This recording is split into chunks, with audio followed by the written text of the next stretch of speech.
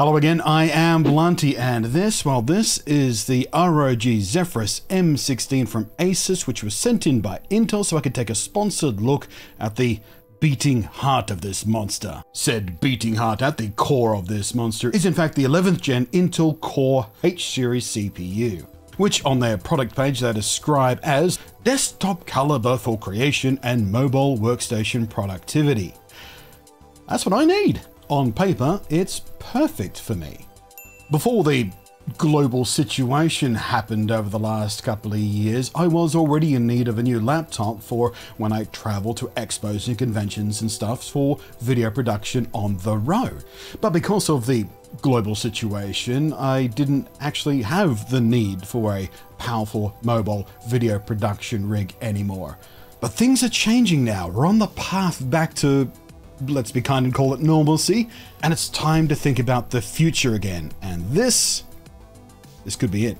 This notebook has the Intel Core i9-11900H carved out of Intel's 10nm SuperFin technology, 8 cores, 16 threads, and is capable of turbo clocking up to a grin-inducing 4.9 GHz. That's quick for those of you not familiar with the numbers involved in this kind of stuff. It's quick.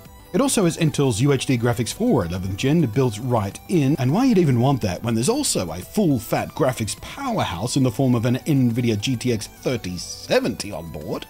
Well, I will come back to that, but believe it or not, it is super handy even for the kinds of heavy lifting 4K video editing workflows that I'm talking about. And yes, with an RTX 3070 under the hood, you can bet your bottom button that I will be talking about gaming. But first, let's be responsible and get the work done.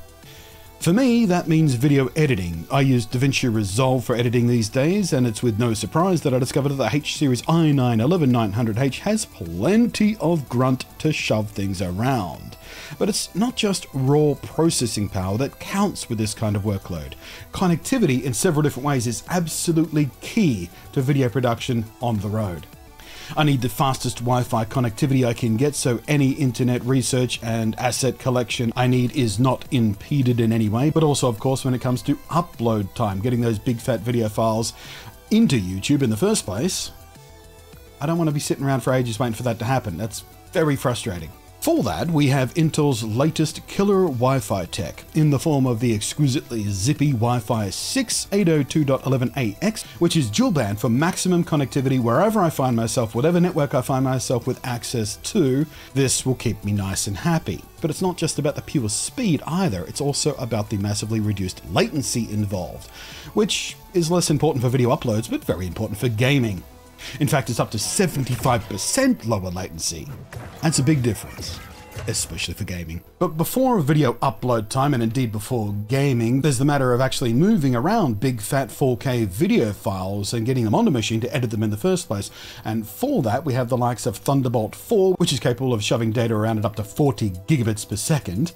Which, if I also team it with a simple dock, this is this is a fancy dock, but even a simple dock means I can run extra display ports as well as extra connectivity, as well as whatever else the port happens to have on it. Thunderbolt 4 is excellent for that kind of stuff. And being able to run things like extra screens is really useful because I, when I'm at home, I do use a double monitor setup for when I'm working. It's incredibly nice for workflow and productivity and things like that. And while the laptop does have a HDMI port on it, of course, it's also nice to have that Thunderbolt 4 for monitors that can use that directly or indeed using it with a dock. So we have DisplayPort output or indeed the USB 3.2 Gen 2, which is also on board, also supports direct DisplayPort monitors. Included amongst that, of course, are other essentials. This model includes a micro SD reader, not so useful for the standard SD cards my main camera uses, but for the action camera and handheld gimbal cameras I tend to use as secondary support cameras while on the road, it is perfect. And of course, like I said, HDMI 2.0B, a USB 3.2 Gen 2, USB 3.2 Gen 1, and USB 3.2 Gen 2 Type-C are all essential for portable drives, camera connectivity, card readers, and even has a LAN port there. And I know what you're thinking. Not Wi-Fi, that's kind of old school. What possible usefulness could that be? But I have been caught out by this before. Because even today, not every hotel has in-room Wi-Fi, so sometimes you do have to resort to the Ethernet connection. Or indeed, if you're in the business center of, of, a, of a hotel, usually they'll have uh, Ethernet connections for you as well. You never know. I'd rather have it and not need it than need it and not have it, because I have been caught out, out by that before when using a laptop that, you know, was from a manufacturer who decided that Ethernet ports are, are not useful anymore. They're wrong! And if through some of these shots you've been thinking, that screen looks pretty big for a 15 inch laptop, it's because it is. It's a 16 inch screen on a 15 inch laptop. They've shrunk the bezel down, including the chin bar. So they've got just enough extra screen real estate to put a 16 inch screen where a 15 inch screen, you know, in the size of a laptop that would normally have a 15 inch screen. Doesn't sound like much, but it's a big difference when you're just looking at it. That extra screen real estate is really nice, especially when you're editing video, especially when you're editing photos, and of course it's still nice for gaming as well. It's a 16 by 10 WQXGA, that's a 1600p anti-glare display in here, Pantone validated so I can trust the colors as I fine tune my videos and photos, etc. And once more, as we edge ever closer to being done with work and on to game time, it is a 165Hz refresh display, which is beautiful for gaming. So roll all of that up in a unit like this, nice and slim and light and easy to carry around and easy to work with, a nice big touch panel, lovely keyboard. It's easily the best experience I've had working with high bitrate 4K video editing in a portable device. In fact, it's a bit smoother than my big boy desktop, although that beast is held back a bit because I'm still using massive mechanical, slow hard drives for mass storage of video files there because of the sheer volume of work I do there. While I'm on the road, I don't need that volume, so I can get away with a smaller but much faster M.2 SSD. It has 2 terabytes of M.2 NVMe PCIe 4.0 SSD built right in, and believe you me, that does make a significant, noticeable, and big difference when it comes to video editing, especially when you're talking about 4K stuff, or high bitrate game captures, or anything that plus the USB 3.2 Gen 2 connectivity for the superfast M.2 external drives that I also use while video editing on the road for mass storage and backups and all that kind of stuff. And of course, there's the very important factor of battery life. As you'd expect for powerful CPU technology made for portable devices, its power management efficiency is good, but frankly I didn't expect it to be anywhere near as good as it actually is. The last time I used an Intel Core i9 on a laptop, it was one of those big chunky desktop replacement gaming focused beasts, and quite frankly the battery was more of a convenience thing for being able to move the device from room to room, uh, but forget any kind of practical sense of being able to use the battery to use the laptop while not plugged in because it just it wasn't meant for that. This is. This very video you're watching from ingest to export was edited on this in battery mode without plugging it in once. And here's one of the tricks to that, aside from the power efficiency Intel have designed into the CPU itself, this is where the integrated GPU comes back into play versus the RTX 3070, because of course the RTX 3070, very power thirsty beast, and if you're not running games, you don't necessarily need it. But more specifically to the workload I'm talking about when video editing, when it comes to export time, I tend to use NVIDIA's onboard video encoder technology that's on their graphics cards. It's fast, it's efficient, and it creates a really good end result. But like we said, the RTX 3070 is rather power hungry. The good news is, Intel's integrated GPU also has a video encoder all of its own. They call it Intel QuickSync, and it means while portable, I can turn off the power-thirsty RTX 3070, let Intel's graphics drive that display, and still have access to extremely efficient video encoding.